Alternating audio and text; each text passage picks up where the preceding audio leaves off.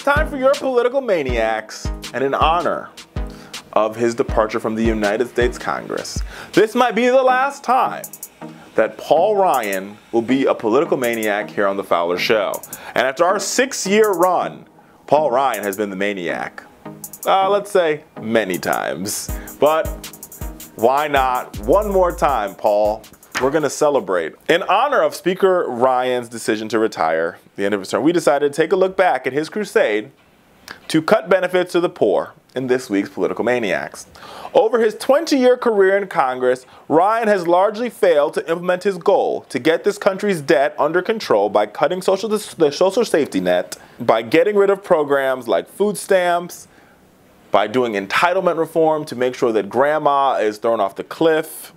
Ryan has been on a mission since his, since his entry into the United States House since 1998 to reform and slash many of the key programs that our most, the most vulnerable Americans depend on.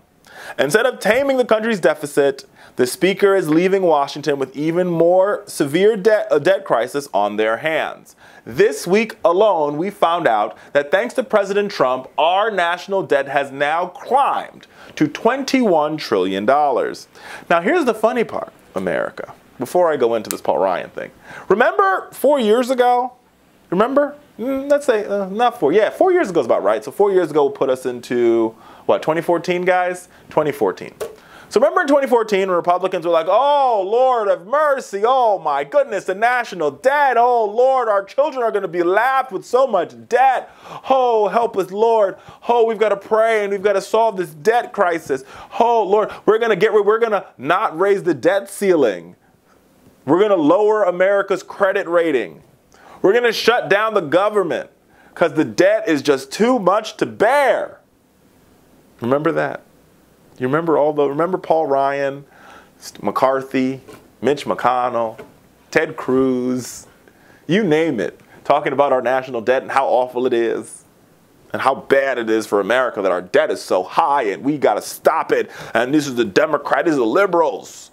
They're taking, oh, they're running the debt up. It's ridiculous. Well, America, in the past 18, 19 months that Trump's been president, we've ran up the debt about $4 trillion under one man. And he keeps just signing the bills. Um, the omnibus spending bill alone ran up our debt about a trillion dollars. That doesn't include his tax cut that was not paid for. So, this is part of the Republican hypocrisy. They say they're fiscally conservative, and they say they care about future generations in this country. And that's why they want to cut all these programs so they can solve the debt crisis. But America, they are the debt crisis. Because every time Republicans are in power, somehow, some way, they manage to explode the deficit. And they explode the national debt. And then when the Democrats are in power, they're like, oh, Lord, look at the debt. Oh, Jesus, I can't stare at it. It's so big, it's so blinding. It's like a solar eclipse. But now that they're running the debt up and they're the ones in control, in control they could care less about our nation's national debt. And so when I talk about when I talk about hypocrisy, when I talk about hypocrisy, this is the hypocrisy I talk about. America. This and don't get me wrong.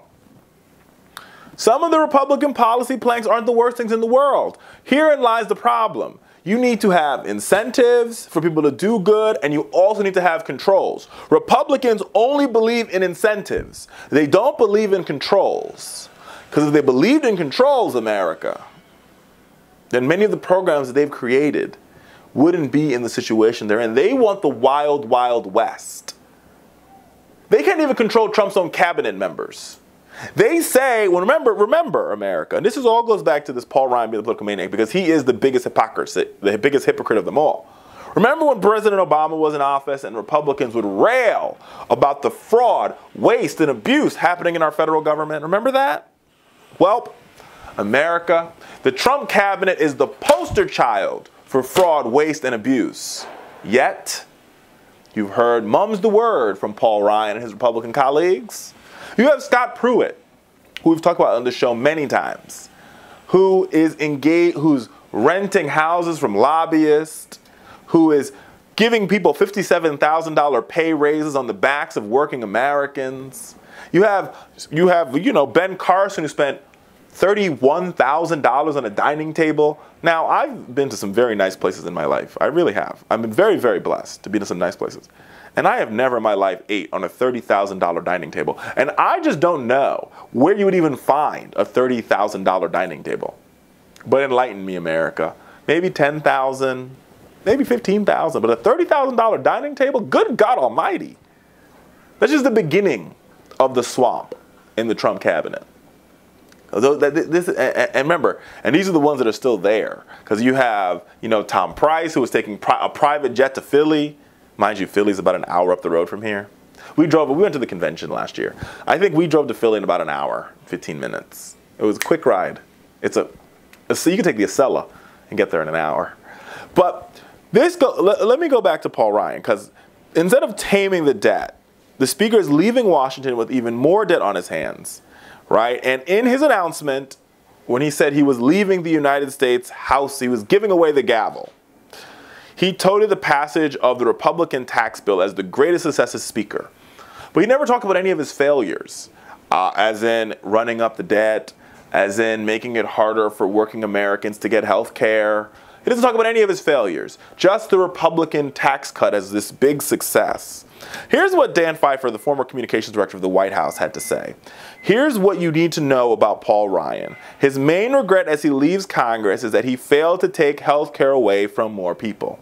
And Dan Pfeiffer couldn't be more correct. Because remember, every year that he was budget chair, he would pass or he would write up a, a, a, a, budget and he would call it the pathway to prosperity. But what he never informed the American people is that that, pa- that pathway, if you were poor, or if you came from, if you, depending upon your zip code, that pathway could be lined with broken glass and you were forced to walk it barefoot. But if you were from another zip code, and you were a millionaire or a billionaire, or you were rich and wealthy, you could sort of, you know, zip past all those people walking the glass, broken glass lined road, and you could take your helicopter to prosperity.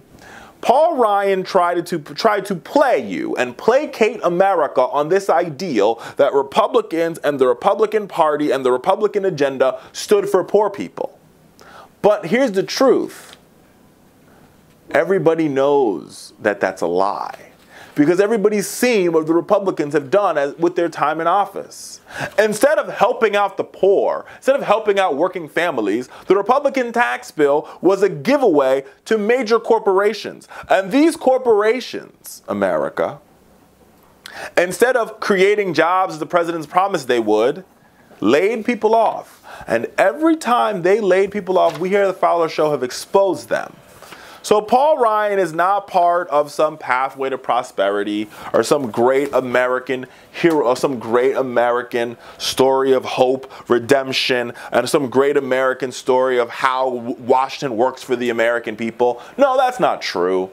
What Paul Ryan stands for is an America that looks out for the rich and the wealthy while the rest of us suffer.